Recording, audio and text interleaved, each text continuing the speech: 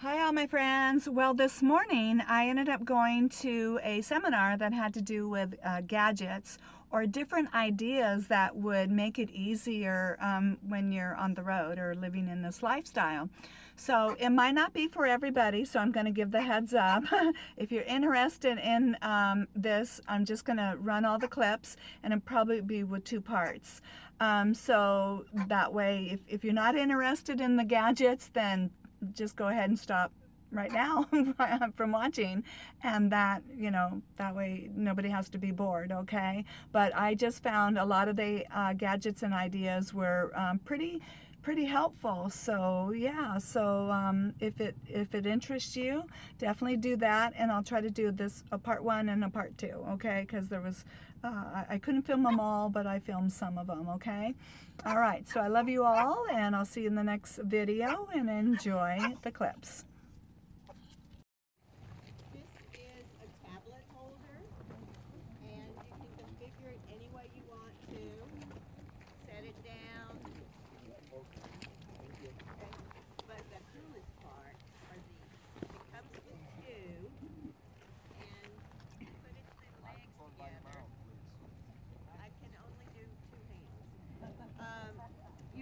legs together,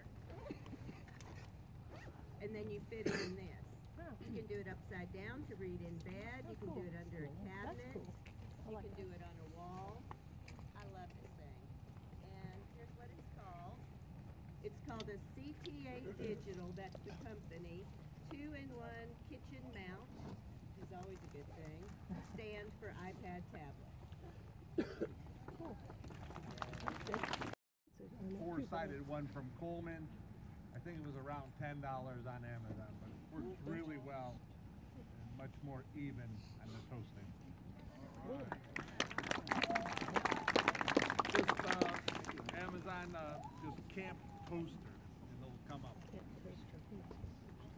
Okay. That's an idea. Mm-hmm.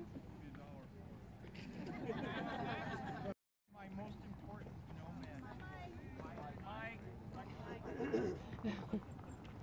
this is one of my most important nomading tools, and what they are is um, noise-canceling headphones.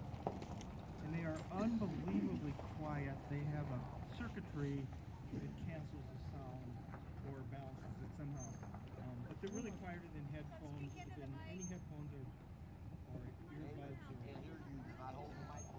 they're quieter than any um, earplugs or anything.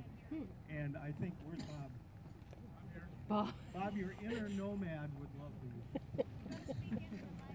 your inner nomad would love these, Bob. Um, these, this is a Bose, and her little speakers are boys.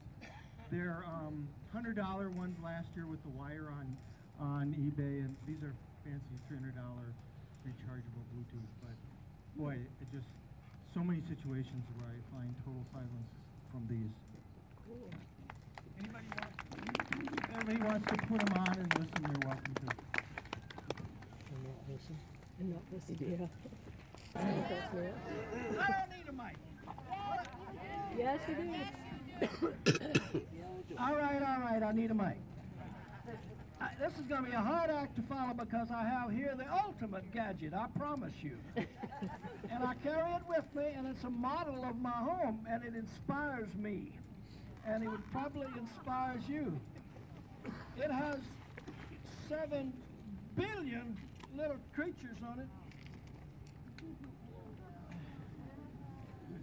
You need an and I look at it all the time, and I recommend you have one too. Saves me money. And this is the uh, Coleman propane adapter that you can adapt to your big tank and fill the small tanks that usually cost 350 each at Walmart or more in specialty yeah. stores.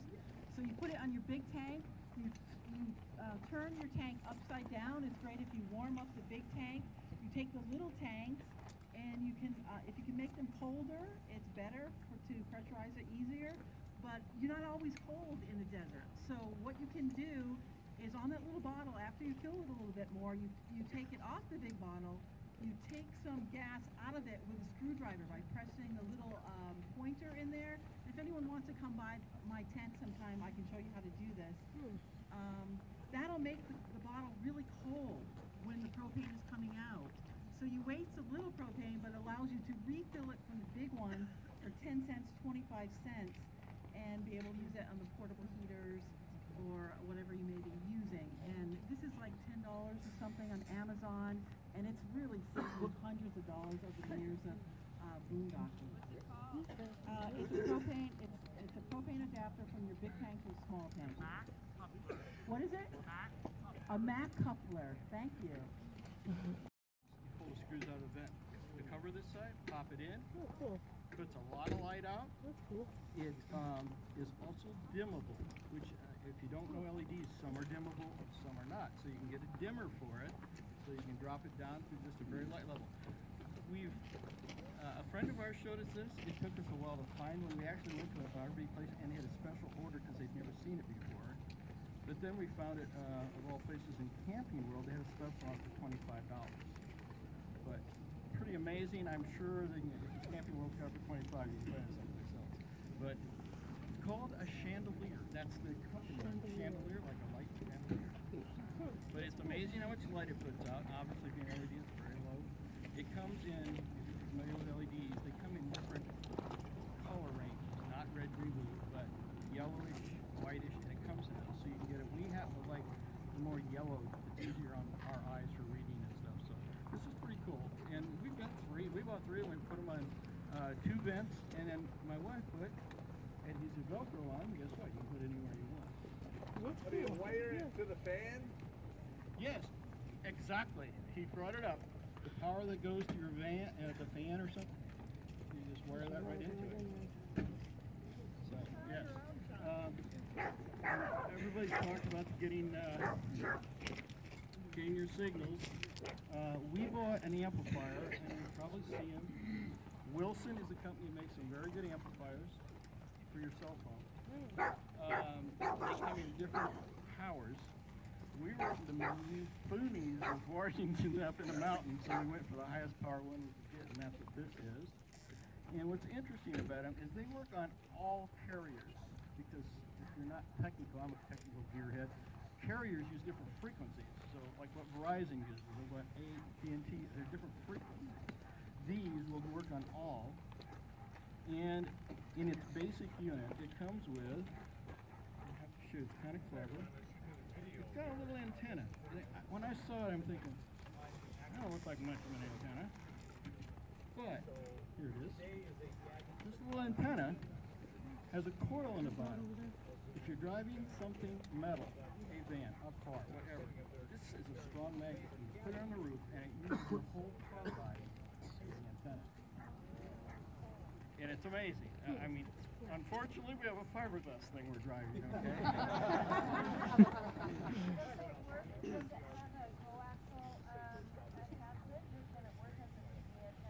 No, different frequency. She asked about TV antenna. Uh, let me see. This one here is uh, Smart Tech 2. And it's smart because it actually, see all those LEDs, it will tell you when it finds cell phones of different frequencies. They'll light up and turn green. Then on the other end of it is this little flat guy. And this is actually a little tiny antenna. So you got your antenna roof giving you. Then it turns around and broadcasts through this inside.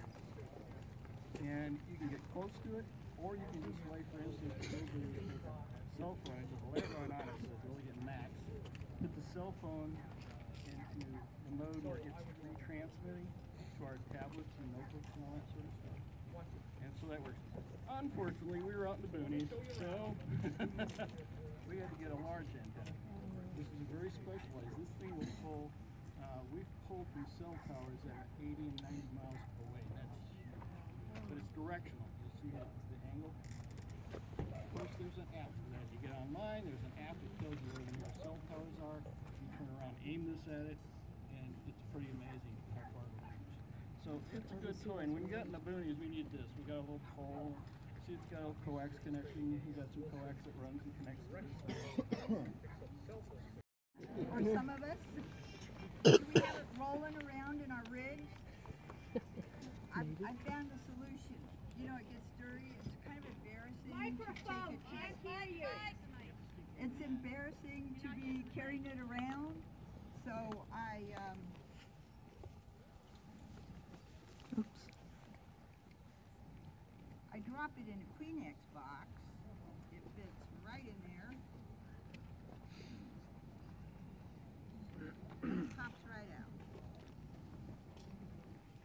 If I had two hands, it would work better.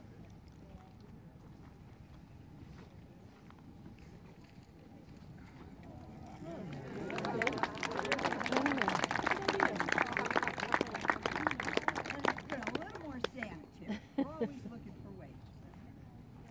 And then grocery bags that I use for trash bags. I The can same fit thing. More than thirty Okay. in this Kleenex box.